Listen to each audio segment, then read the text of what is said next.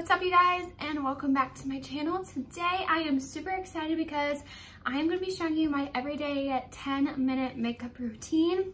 It's going to be super easy and super quick so let's just go ahead and get started. Alright you guys so when I start out with my 10 minute makeup routine first I like to start off with the skin because I think that that's the most important part. So today I'm just going to be going in with the Hydrating Camo Concealer from e.l.f.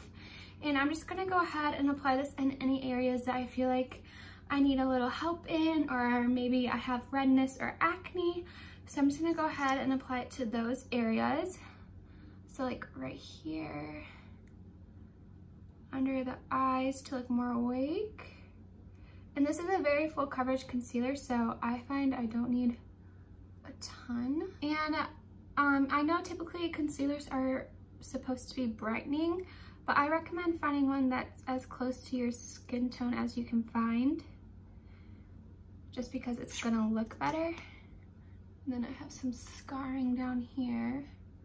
I know it kind of seems like I'm putting it in a lot of places, but it's just gonna help balance everything out and make everything look a little bit better.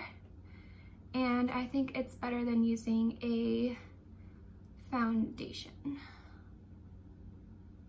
So I'm just gonna blend this on out.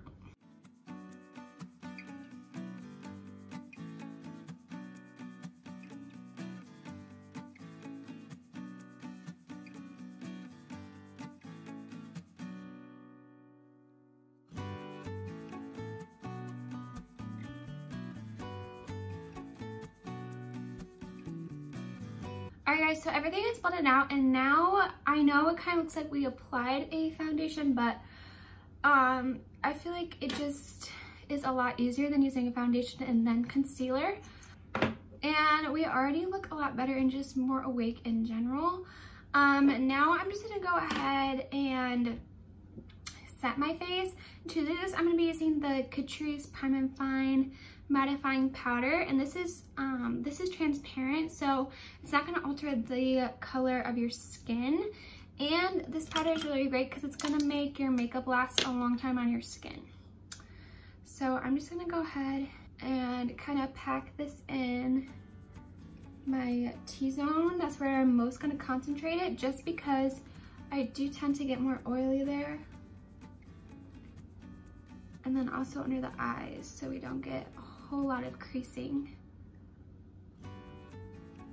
And then just kind of stamp it into the rest of my face. Next is time to go in with the brows. And I think brows are super important because they just frame your entire face. So I'm just gonna be going in with the um, e.l.f. Pre Ultra Precise Brow Pencil just to kind of fill them in a little bit. I wouldn't recommend using a pencil and then a pomade just because that's an extra step that I don't really think is necessary just for an everyday look if you're trying to be quick and go out the door. So I just lightly fill them in. I don't like overly outline them or anything like I usually do. Just kind of uh, lightly fill them in.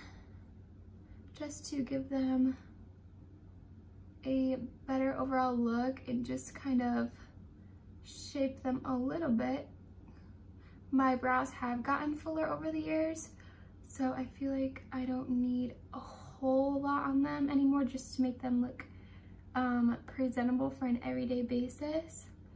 And then you can go ahead and blend that on out. It's a very quick and it's not very like precise brow routine, but I do like it for an everyday type of thing. And then I'm gonna go ahead and go in with the ColourPop Boss Gel. Um, this is just a brow setter. Um, this one I think this one's in the shade light brown, so it's a little bit dark for me. But I kind of just like wipe off the excess on here. And then lightly fill, well, it's kind of like you're filling them in, but you're setting them. So I set the ends first, and then I'll work my way to the front. Just so that the darkest part's on my tail. And then I'll do the same thing on this side. All right, and then those are the everyday brows. They look very just natural and not super filled in or anything. Again, very quick and easy This is very different from what I normally do on a day where I have a bit more time. I carve them out and take my time with them to make them look very um, precise, but I feel like this is a good for everyday basis. All right, next is the eyes. We're not gonna do a whole lot just because we don't have a whole lot of time.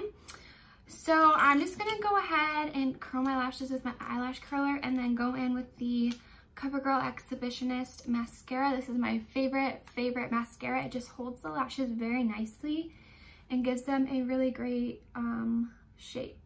So I'm just gonna do this very quick. And I usually do about two coats.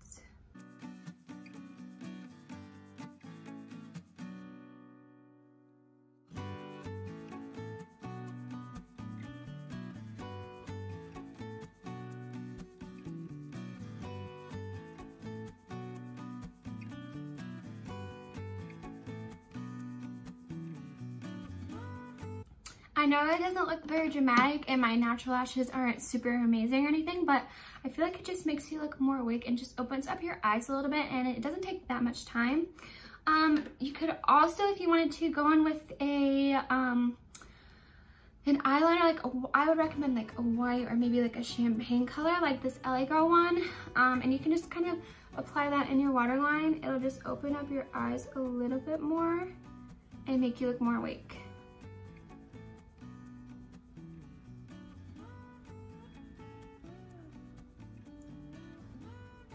Again, it's not like a super major difference. It'd be more wowing if you had maybe like a white eyeliner or, but a nude or a champagne isn't gonna be too different from your natural like color of your um, waterline. So, but it does, I feel like make a little bit of a difference if you're wanting to look more awake. All right, you guys, and one thing that I cannot skip in my makeup routine is blush. So I'm just gonna go ahead and apply some of this e.l.f. blush, and this one's in the shade Always Rosy and I just love blush. I cannot go without it and I'm naturally like a rosy red person so I feel like when I apply the concealer it just makes me look just like all one color and I don't like that.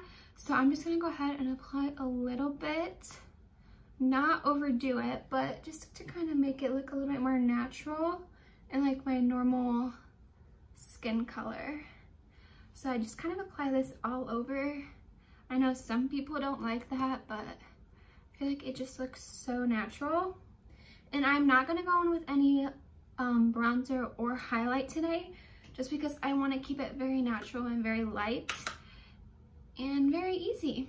Not that many products at all, just very simple and minimal products. All right, you guys, and then the final step is to get some type of lippy on. So typically for an everyday basis, I just kind of stick with a lip gloss just because I can reapply it easily throughout the day and I don't have to really worry about it like fading ugly or anything. So I'm gonna recommend two for you guys. I would highly recommend the NYX Butter Glosses. These are very nice and they have very nice colors in them. And then for my favorite clear gloss, this is gonna be the Essence Shine Shine Shine Wet Look Lip, Wet Look Lip Gloss. This one is very nice too if you just want like a clear gloss. And this is a really nice topper one too. Um, today, I think I'm just gonna go ahead and go with the clear gloss because I don't mind the natural color of my lips. But um, if you guys wanted a little bit of color, I would go in with the NYX Butter Glosses. This just gives such a wet look to your lips and I love it. Especially just for an everyday look like you're running errands or something, this is so easy and you don't have to be super precise with it so you can just literally throw it on and walk out the door. All right, and then the final step is setting spray. So I'm just gonna be using this matte finish Catrice Prime and Fine setting spray.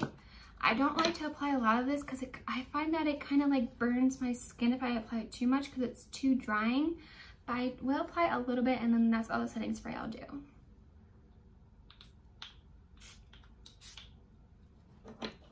Alright you guys, that completes this look. Thank you guys so much for watching my video.